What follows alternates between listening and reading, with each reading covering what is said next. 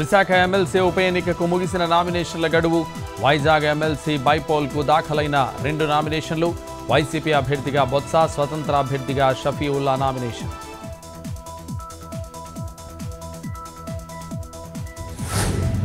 పరిశ్రమలు విద్యాశాఖ skill census పై సమీక్షించిన సీఎం చంద్రబాబు విలువలతో కూడిన నాణ్యమైన విద్య ప్రభుత్వ లక్ష్యమన్న సీఎం భవిష్యత్ అవసరాల దృష్ట్యా విద్యా సిలబస్లో మార్పులకు సూచన.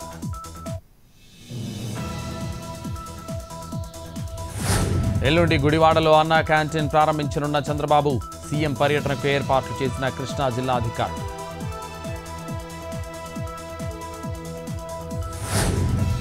జోగి రమేష్ అగ్రిగోల్డ్ బాధితులకు రూపాయి కూడా ఇవ్వలేదు. న్యాయం చేస్తామని చెప్పి వారి భూములు లాక్కున్నారన్న మంత్రి కొల్లు జోగి రమేష్ లాంటి తిమింగలాలు ఇంకా ఉన్నాయన్న మంత్రి.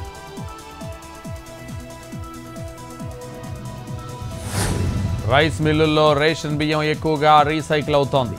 అక్రమంగా తరలిస్తున్న వారిని అరెస్ట్ చేస్తామన్న నాదెండ్ల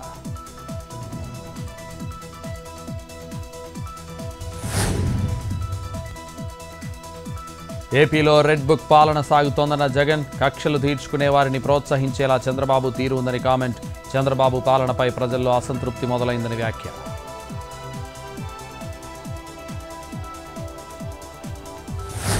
మాజీ మంత్రి జోగి రమేష్ ముందస్తు బెయిల్ పొడిగింపు. సీఎం చంద్రబాబు ఇంటిపై దాడి ఘటనలో జోగి రమేష్పై కేసు. ముందస్తు బెయిల్ ఇవ్వాలని పిటిషన్ వేసిన జోగి రమేష్.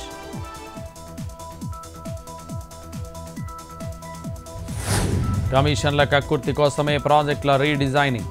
సిడబ్ల్యూసీ అనుమతులు తెచ్చామని బీఆర్ఎస్ చెబుతోందన్న ఉత్తమ్. సీతారామ ప్రాజెక్టుకు సిడబ్ల్యూసీ అనుమతులు పూర్తి స్థాయిలో రాలేదని వ్యాఖ్య.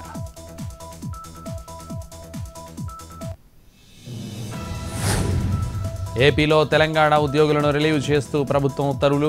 నూట ఇరవై రెండు మంది తెలంగాణ స్థానికత ఉన్న నాన్ గెజిటెడ్ ఉద్యోగులకు relieve.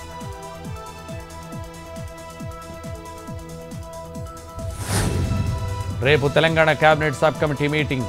Three seventeen forty six జీవోల సమస్యల పరిష్కారంపై చర్చ.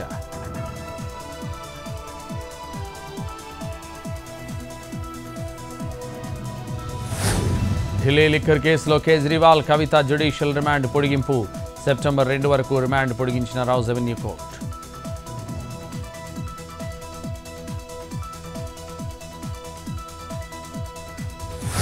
హైదరాబాద్లో అంతర్రాష్ట్ర మహిళా దొంగల ముఠా అరెస్ట్. సికింద్రాబాద్ సితారా హోటల్లో పట్టుకున్న పోలీసులు సుల్తాన్ బజార్ చోరీ కేసులో ఆట కట్టించిన పోలీసులు పద్నాలుగు వేలతో కొన్న నగలు బట్టలు స్వాధీనం.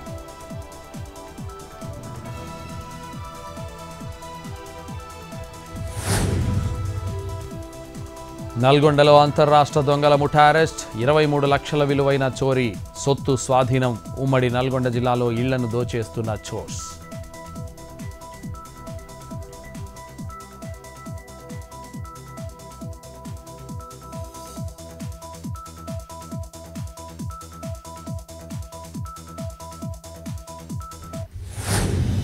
ఏఐసిసి సమావేశంలో కీలక నిర్ణయాలు సెబీ అదానీ మధ్య అనుబంధంపై సమగ్ర దర్యాప్తునకు డిమాండ్.